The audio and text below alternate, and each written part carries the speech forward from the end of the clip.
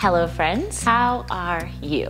My name is Corbin Reid and welcome or welcome back to my YouTube channel. Today, I am bringing you a DIY fireplace build and it is not the same as all of the ones you've already seen on YouTube. My fireplace build is very different. I have built a hearth out of marble fluted tile and I have installed in gel fireplace. So this is operated by um, canisters and this is a fireproof firebox with a mantle that I have painted and also secured to the wall using something called a French cleat. And then placed it on this marble hearth and styled up just in time for this crazy, apparently blizzard weather that is coming to Los Angeles in the next couple of days. I will definitely be here, cozied up by the fire, you better believe it. And I know you can hear that really lovely crackling effect coming from behind me. So, so this is part of a larger series that I'm doing here in my living room. This week, I'm just showing you how I built this hearth and put together the entire fireplace to make it look built in, but it is actually completely easy to remove if I ever want to take it and put it in another home. And then I show you how I'm going to style up this mantle in this video as well after I'm done building it. And then you have to come back next week for part two. I will be showing you how I do a massive makeover here in my living room. So I will not be flipping the camera around to show you how I've changed this room up, but it has changed quite a bit and definitely for the better. Please join me next week for part two of this living room makeover. If you're interested in figuring out how to make a hearth for your home um, that could either house a gel fireplace like mine, or if you want to do a gas line, or if you just want to get an electric fireplace, then please just keep on watching. So first things first, I started out taping off and measuring out on the wall how I wanted the hearth to look or the sizes that I had for the fireplace. And these tiles are actually tiles that I had left over from when I had the kitchen backsplash installed, so I did not have to spend any money at all on the cost of this tile. In fact, I got this entire project done for under $400. So it was a very affordable project. However, I did already have this material, and this material is expensive material, of course, because it's marble. So I'm just laying it out to see how large I want the hearth. And then I was going to go from there in terms of, you know, figuring out if I had enough tile to complete the project. This is what I landed on. I had enough tile and I laid it all out and I knew that I was going to be good to go to go and build the frame, the wood frame to lay this tile over.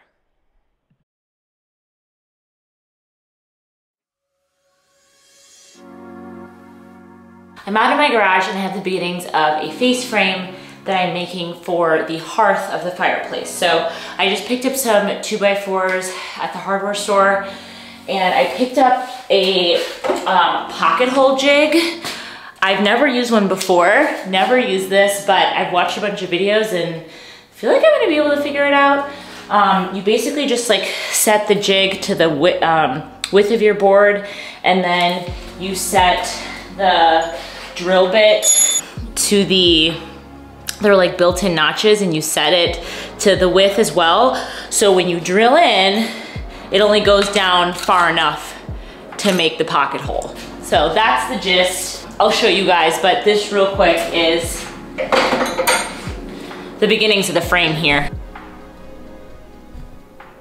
The first thing I did was go in and make a bunch of marks for where I needed to cut to build the frame. My plan was always to build a square, um, but then also to put some supports in the middle. So this is just me marking out and measuring where I need to cut to have the supports and the frame. And then of course I'm going in with my handy dandy miter saw to make all of the cuts. Out on the ground.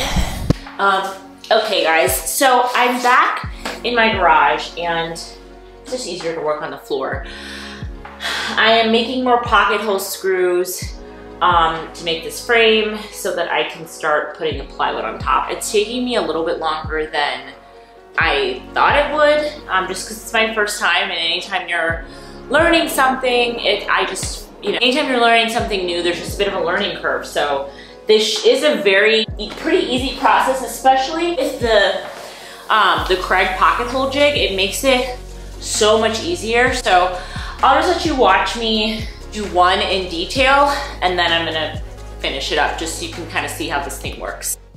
So this Kreg jig is super handy. You just slide the wood into the jig. There is a release button and a compression handle um, and these are the widths of the wood that you can put inside of the jig. This my wood actually was at the maximum, which is I believe one and a half inches thick. So I set the jig to one and a half inches, and then you use the drill bit. You set it to the depth of your board. Once again, the width of your board, which for me was one and a half inches. This just ensures that the drill bit will not go all the way through, and it will only go in deep enough to make sure that the pocket holes are the proper depth for this width of wood.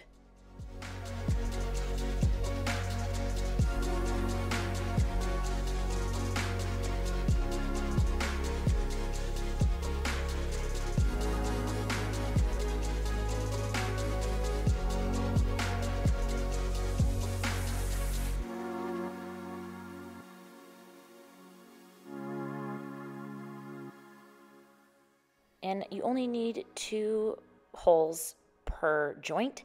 So that's what I did here. And then you press the release clamp um, to release the wood. And there you have it, two perfectly drilled pocket holes. And then the next thing I did use was a 90 degree clamp.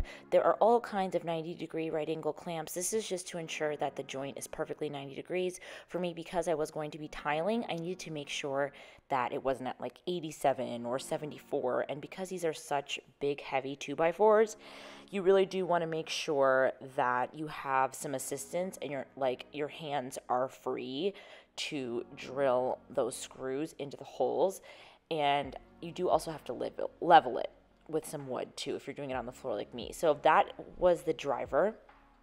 This uh, metal piece here is the driver and it's an extension for the drill that you put the screw onto so that you can get inside of the pocket hole because it goes pretty deep in there and also you can access obviously all the way into the other board as well that you are drilling into. This is not possible to do without a driver, and luckily this Kreg Jig kit came with a driver, so I didn't even have to think about it.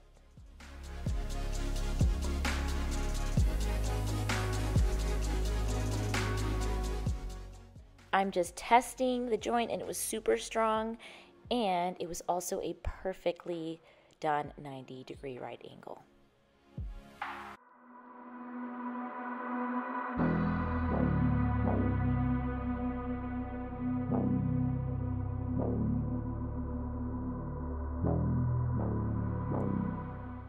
So here I'm just finishing up the rest of the edges for the frame and repeating the same process I just showed you all the way around on all four corners.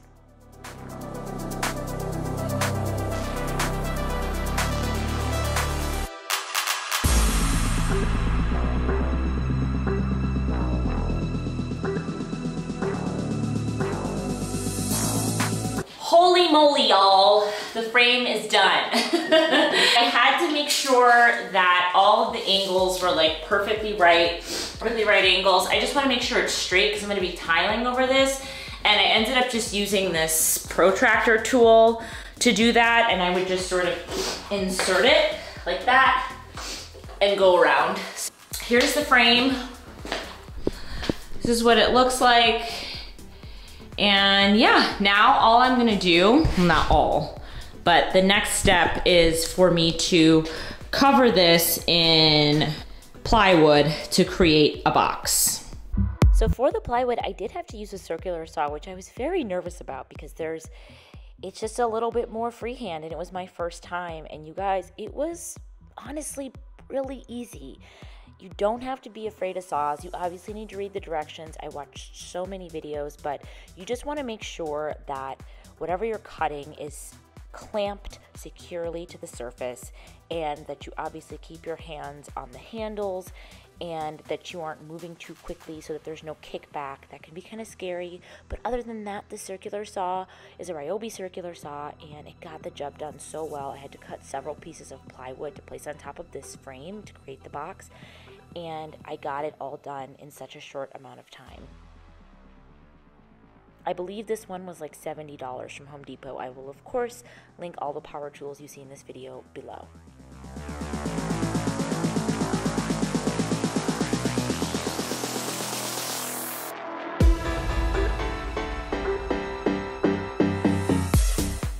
And then I'm just taking this plywood to test to make sure that it fits out on the box and it was a absolutely perfect fit if I do say so myself. So after I had all the pieces cut, I went in with some wood, wood screws. I believe I used an inch long wood screw and I just made sure they were flush and level and I screwed the plywood pieces into the frame to create a perfectly smooth flat surface for me to work on when it came time for me to tile this.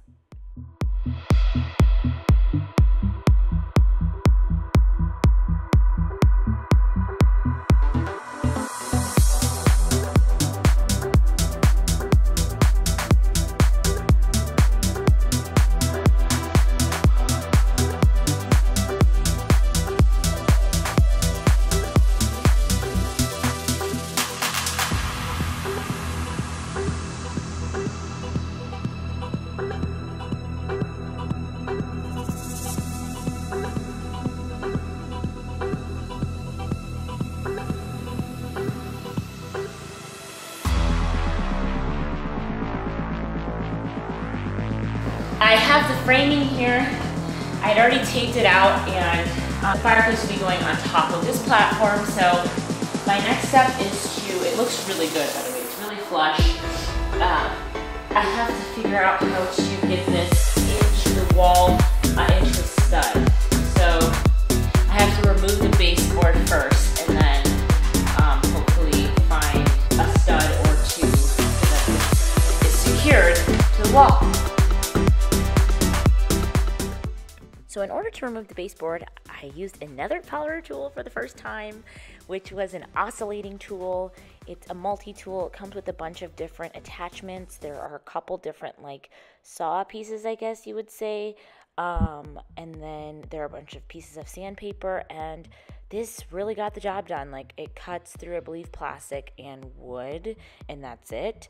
Um, but you just kind of stab it into the wall, and when you feel the drywall, that's when you know it's time to stop. And then I just took these little trim wrenches and hammered it in behind the caulk. I didn't even have to cut the caulk line or anything and just slowly tap, tap, tapped away and it came off pretty easily and quickly.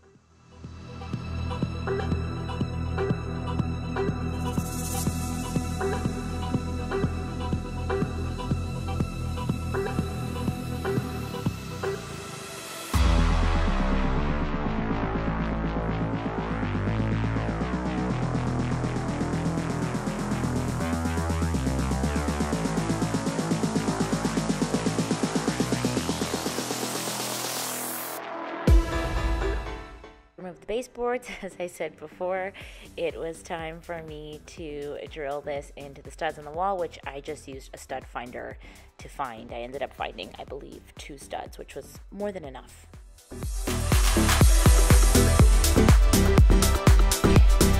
I've secured this into the studs on the wall, so it's good enough. And I am going to add the plywood on top now that it's secured. This all looks. It looks really beautiful. I love it. How gorgeous. But yeah, this is it guys. Okay, so now I'm just gonna use some wood screws to secure this to the top of the frame.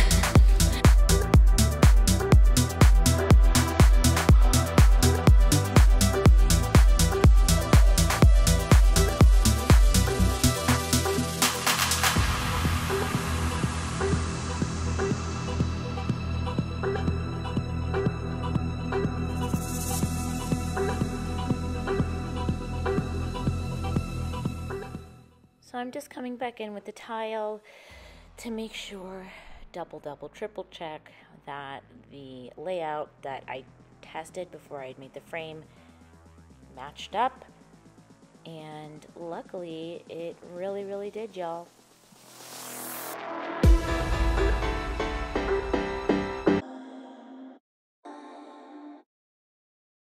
I'm here in my kitchen with my new saw. This is my Prowler saw that I got from um, Floor & Decor. I've seen some YouTubers use it, like Tina Lee and McKenna. And um, it got the job done for them, so I figured maybe I'd give it a try. I've already done a test tile. It works, like it, it really works. For $60 for a saw, like this thing really works. So another tool I'm using for this project that I've never used before very proud of myself. Anyways, I'm about to cut the marble, which I am a little bit nervous about, mainly because I only, I really have like the exact amount that I need, which is scary. So if I make any mistakes, I'm kind of screwed. I gotta get this right on the first try. So I'm gonna mark the tile, bring it over here and make a cut and we'll see how it goes. We'll go through this together. I think of all the power tools I used for the first time for this project, this is the one that I was the most nervous about using, mainly just because the material is so expensive and I had a limited limited amount and I actually had exactly the right amount like I said before and if I cracked it or whatever, I would have had to try and buy more. And I wasn't even sure if they were still selling this in the store. I think he was like discontinuing it, and I got a deal on it. So I was like, everything has to go perfectly. And luckily, as you will see here, it did the job very well.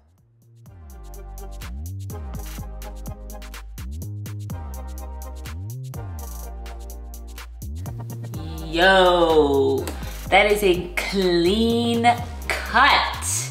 Wow. You guys, I am so impressed with this little $60 saw. Wow. This is incredible. Holy shit. It's like, a, it made like a perfect straight line. Like, all right, let's see how this looks over on the fireplace. This lines up nicely. Look at that. It could not be any more beautiful and straight. It's so perfect. I literally am just over the moon, pleased with this. This is so cool. I'm just so shook right now. Like it just looks so good.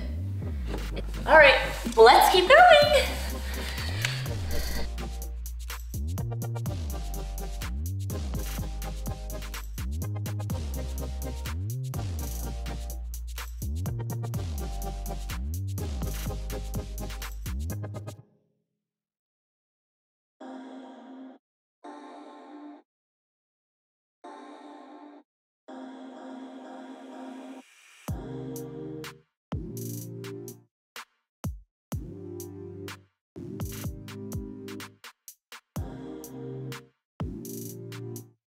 Okay, moment of truth. Let's see if this fits.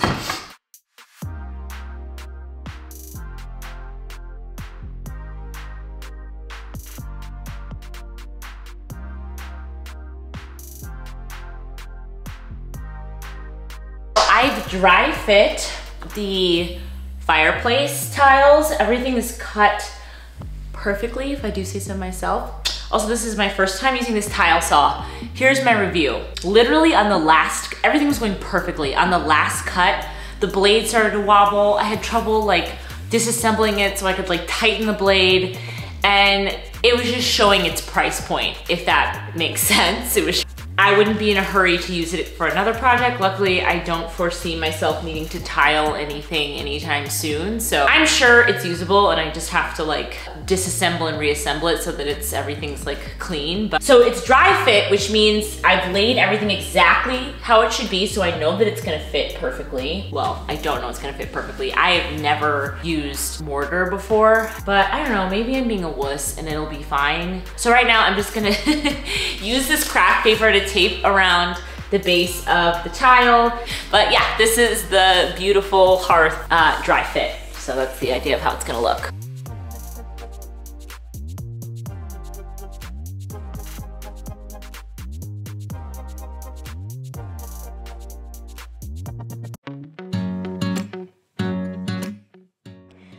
So if you are like me and you have never mixed mortar before, here's a little pro tip, or not pro tip, amateur tip from me watching videos and reading. So you put the water in first and you want to go one to one. So same amount of water to the same amount of um, thin set. And you want it to come out like a pancake mixture. Now, I would definitely get this drill bit attachment. Otherwise, if you just get a stick, you're going to be mixing and mixing and you're going to get lumps in your thin set. And you want this to look like pancake mixture, just smooth and even and or like peanut butter that's another good but you want to like add as you go because you don't want it to be too thick and you don't want to mix too much um, you don't want this stuff to dry out it does dry out pretty decently quickly so you want to definitely move at a good pace. But if you mix it in smaller batches, you don't have to worry as much about it drying out because you'll use it up before it can. Then you need a trowel with these ridges in it, and the idea is to spread it on smooth and then you go back over it with the um, edges the the side that has the divots in it. I don't know the exact technical term but it just helps the tile adhere to the, um, in this case, I guess plywood or to the thin set. And then you want to use a grouting float to push it on once it's on there so that everything is even and level. And then after that, you just go over it with a sponge. You want to have a bucket of water nearby and ready to wipe off any thin set that squeezes through the tile. And this is just to ensure that it doesn't dry on the tile because like I said, the thin set can dry pretty quickly. And for me, luckily, this was a small surface area. But if you're doing a larger surface area, if you're not wiping, like washing it down as you go, you could risk having some of that thin set dry and then having a really hard time getting it off the tile later. These back pieces here, these thin pieces you see me putting into, I am not going to grout because I want to have access to the back of this hearth in the event that I ever want to take it off the wall, like if we move or something, and take it with me so that way I won't have to smash the tile. I can just basically use like a jigsaw to get it off the wall. And this is how things were looking after I was done applying all the tile with just a thin set. And next up is grouting which you do have to wait about 14 hours to do.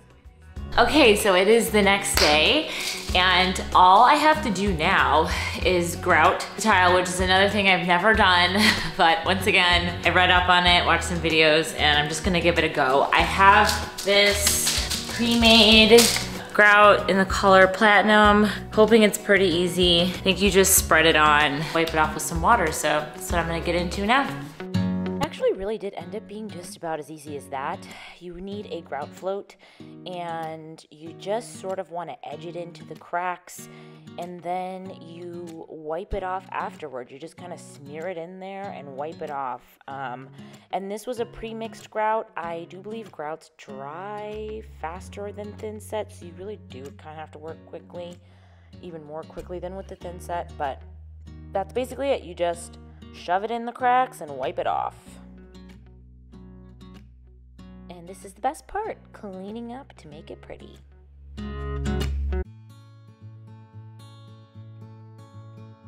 Fireplace surround is all done. I've covered it with like craft paper because I'm going to paint it this I got off of Facebook Marketplace actually, and it is discontinued online. It was originally sold at Walmart and like Target and I think a couple other places, but it's straight up like sold out everywhere and discontinued. The company now is only selling their electric fireboxes, which I wanted a real flame fireplace, so I was really lucky to find this on Facebook Marketplace in such excellent condition. And essentially it's just a, a fireplace surround that's made out of wood, and then they insert the fireproof firebox in there there.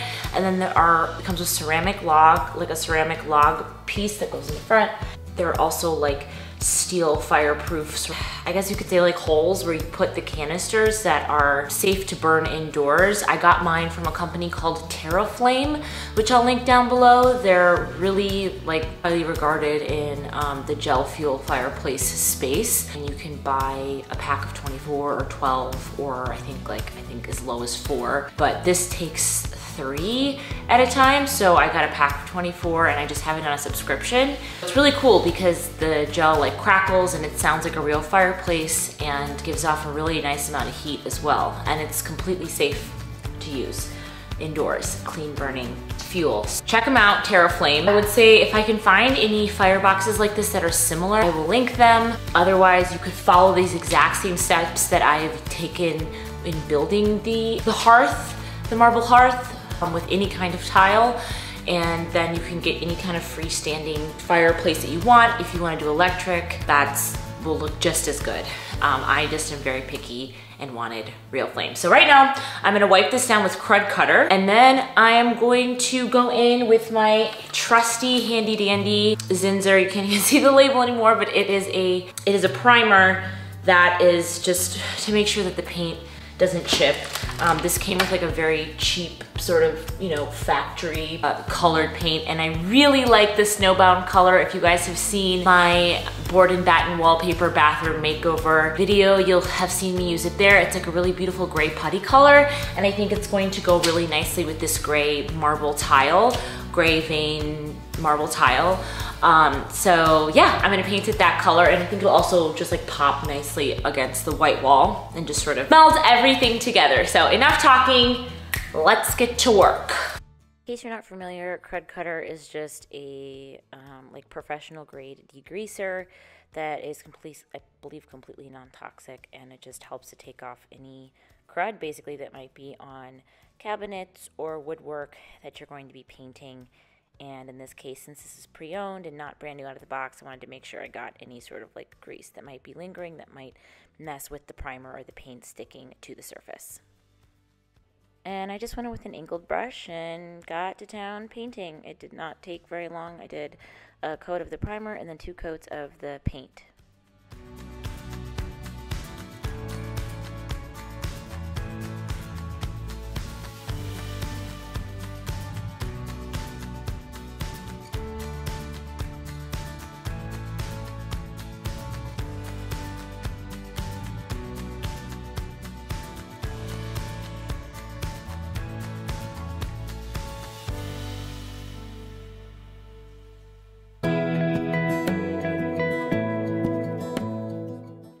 As you can see, a little bit of paint went a long way. I did attach it to the wall with a French cleat to make sure that it is secure, but there is a gap that I need to close to make it look more built in.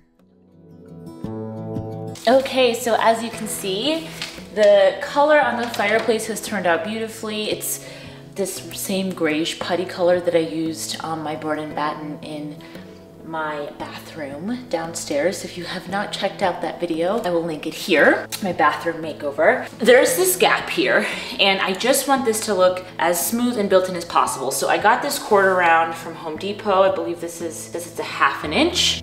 And my plan is to just I cut it down to size on both sides and I'm just gonna put this up against the gap.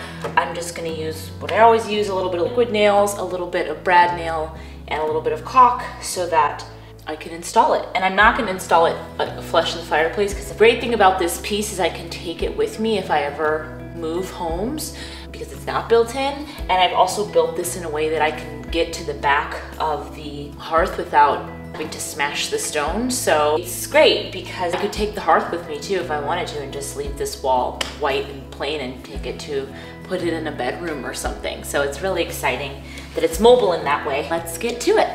As with any trim, I just use a caulking gun and first go in with a little bit of liquid nails.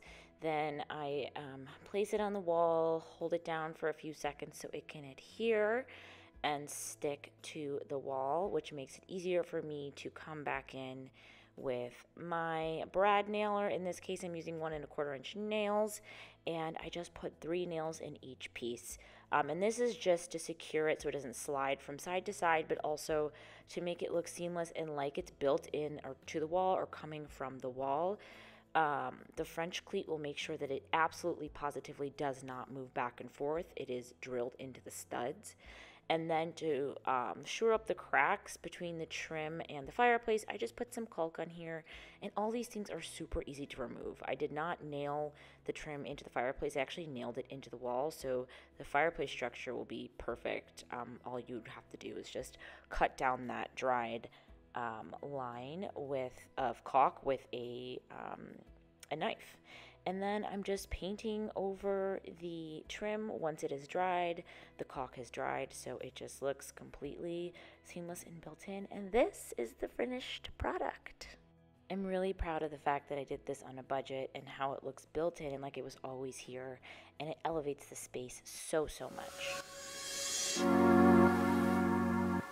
And now for the best part, styling. So this art piece that you see above the fireplace, I actually got when we first moved in from Home Goods, believe it or not.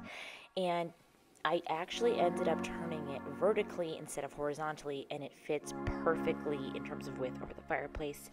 I added a aged pot from Olive Atelier and a Senofu African stool that I got from the Long Beach Antique Market. And then on the left side of the fireplace, I actually got this marble pedestal at an estate sale and that pot I also got at a vintage store locally in Los Angeles, and the statue is actually from Amazon, which I will link below. And then I just added in some birch logs that I had left over from Christmas that I got bundled at Michael's. Even though the birch logs are not usable in the fireplace, they just add a nice ambiance to the entire look this is a candelabra that I got off of Lone Fox's website, actually. I believe it's still available, which I will link. And then these marble dishes I got at a President's Day sale from McGee & Co. I believe each one was maybe like $30. And then I just went in some, with some twisted candlesticks and that was it for the right side of the fireplace. And then, of course, I love styling with coffee table books. This one's a good one. Um, I have it in my Amazon storefront. It's Greatest Escapes Europe, and there's some beautiful pictures of Europe in there. And then Pacific Natural at Home by Jenny Kayne, which is one of my favorite books. And then topped it off with a antique key these are the TerraFlame canisters. They burn for about three hours exactly a piece. You just shake them up a little bit and then you pop the top off. Obviously being careful, but it's gel so it does not splash or anything. And then you use a long lighter like you would use if you were grilling to light them and they just sort of burn really evenly and cleanly and they crackle. Um, in the next clip, I'll let you hear the sound, but this also came with a really nice steel fire screen. And here's a look back at the finished product. I love how the Jenny Kayne book ties into the marble dishes. I love just the simple shapes, the clean lines, and the structure, the mix of vintage with new, and the mixture of wood with marble, with ceramic, and of course the natural elements of the fire and the crackling fireplace. It's just so warm and so cozy. And you will see when you come back next week for part two of this living room makeover that the styling I've done here really ties in with the furniture that I've chosen for this space. I've actually just moved a couple of pieces from my house, but I've added a really beautiful vintage piece as well, of course, because that is just pivotal and elemental to my design style.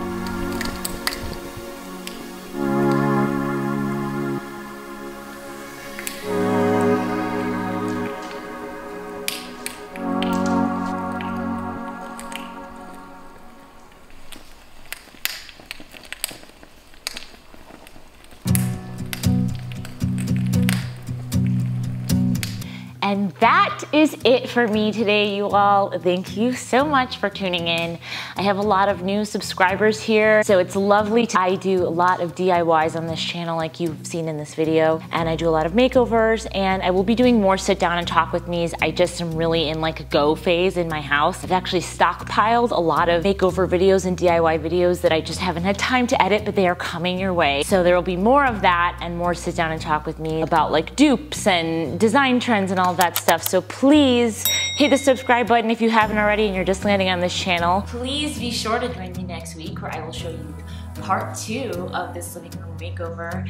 I have completely altered the furniture setup in here and added some really beautiful, beautiful, warm new pieces. I'm talking vintage leather, I'm talking sheepskin, I'm talking wool, I'm talking aged wood, olive tree. It's all the goodness, warm, natural, luxury that you could want. So be sure to join me next week so you can see the reveal of my room makeover and how I style it and how this whole thing came together just in time for a cold front. also be sure to follow me on Instagram over at storied design underscore with Corbin Reid. I'm also on TikTok at Storied Design. And also be sure to follow my Amazon storefront. A lot of the items that you see here in this video will be linked. Anything that I cannot link that is identical, I will tr always try and link a dupe or something very, very close on Amazon and it's all sort of like easily there for you. I also have an LTK um, with some fun ideas as well for home decorating and design and DIY, so I will link that as well. And yeah, you guys, thank you so, so much for being here and for watching. And if you could please comment down below,